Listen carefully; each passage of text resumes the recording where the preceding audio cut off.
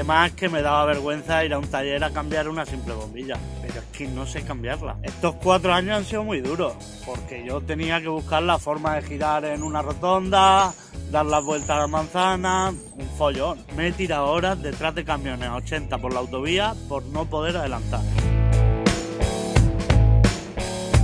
Vamos, que llegaba tarde a todas partes. Así que siempre tenía que estar buscando excusas para no admitir la verdad. Hasta el día de mi boda llegué tarde, más de dos horas, que casi me cuesta el divorcio antes de casarme. Cuando iba con gente se ponían nerviosos. Que gira aquí, que es por aquí, que a la izquierda. Y yo tenía que hacerme el tonto. Ay, que es que me, me he equivocado.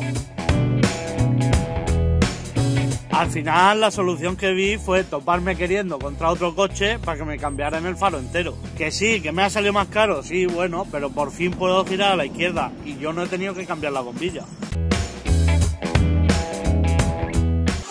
Espera, que voy, que voy a salir. Hostia, otra vez, otra vez, y ahora el de la derecha